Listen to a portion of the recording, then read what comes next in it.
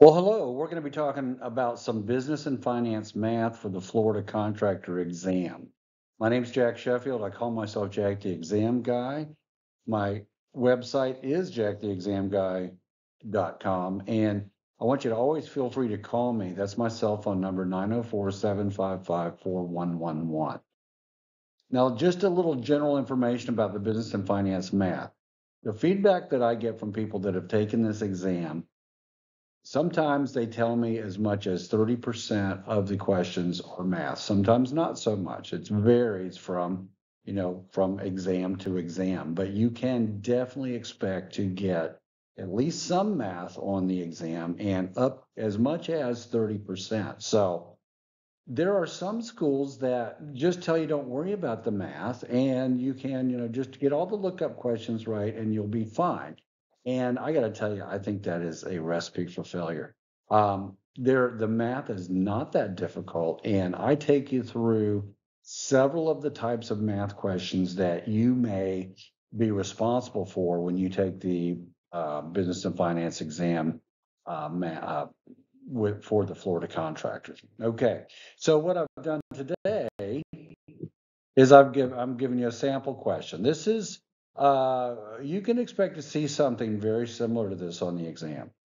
All right, so the question reads The contractor is securing a loan for $12,000 payable in a lump sum in 90 days. The loan is a simple interest loan with an APR of 8%. The interest is calculated on a 365 day year. What will the payoff be on the loan? All right. Well, when they tell you the, the 365 day year, that's the clue that what they want you to figure out the daily interest. Okay, luckily it's simple interest, so it's not that complicated. It's just simple interest. And APR, of course, means annual percentage rate. Okay, and you've got to know that. That means annual. So, you know, so if you think that you can calculate this, um, uh, go ahead and you can hit the pause button and see if you can calculate it, and then you can come back and I'll walk you through it and see if we got it right. Okay, so step one, we want to calculate the yearly interest. Okay, so it was 12 $12,000 at 8%, so it was $960. If this was simple interest and you had the loan for a year, the interest would be $960. Okay, now the next step is going to be we're going to calculate the daily interest. Well, since it's 365 days in the year, that's what they told us, then it was 960 divided by 365, which is $2.63 per day.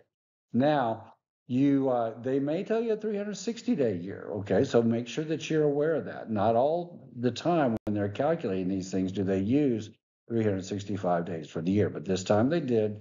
So we said, okay, our daily interest was $2.63. Now, how many days were we going to borrow it? 90 days. So it was $2.63 times 90, and we got $236.70 of interest for that loan. And then we add the loan, uh, we total the interest and the principal, and we get 12,236.7. Okay. Now, you may say, well, hold on a second. It was 2003, uh, 230, 12,236.71. Why wasn't it 2000, uh, 12,236.70? Well, first of all, if you get that close, you're probably have the right answer. Okay, so you may be a few pennies, a few dollars, one way or the other. There's a couple, you know, there's there might be some uh, some rounding issues. And speaking of, let me kind of show you something that I'd like to do. All right. So what you can do is, you know, every time you write something down, you write a number down, you're there, there's a there's a potential to make a mistake there. So what I like to do is, eh, when possible, just leave the numbers in your calculator. And if you leave all those digits to the right of the decimal point in your calculator, you're actually going to get a more exact number. So let me show you what I mean. Well, if you take, let me get a little pointer out here so I can point this out to you.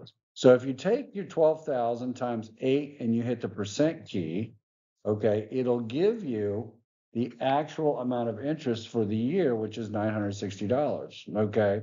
Now, I like the calculator. I like to use the calculator when I hit the percent key the answer comes up. Okay, so nine sixty, so I'm doing it now, twelve thousand, turn it on, twelve thousand times eight, hit the percent key, nine hundred and sixty dollars. Now, you may have a calculator where you have to hit the equal sign again, but if you have the one where you hit the percent sign and nine hundred and sixty dollars comes up, that's the best kind to have. And if you want a link, uh, an a link to the Amazon page where you can get a calculator like I'm holding in my hand right now, then you, then I'll send that to you. You can email me and I'll send you the link.